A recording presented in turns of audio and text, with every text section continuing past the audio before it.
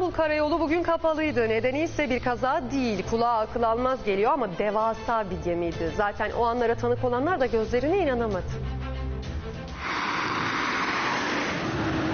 Gemiler bir kez daha karadan yürüdü. Otoyolun ortasındaki manzarayı görenler gözlerine inanamadı. Bu görüntüler aslında bir ilk değil. Türkiye'nin karadan yürütülen en hacimli gemisi Akşemseddin 2 yıl önce de aynı şekilde taşınmıştı. Bu kez de İznik Gölü'nden çıkarıldı, yüklendiği araçla Gemlik Körfezi'ne doğru yola çıktı. Koca gemi karadan yürütülünce Orhan Gazi İznik Güney yolu Bursa İstanbul Karayolu da trafiğe kapatıldı. Herhangi bir kaza yaşanmaması için geniş çaplı önlemler alındı.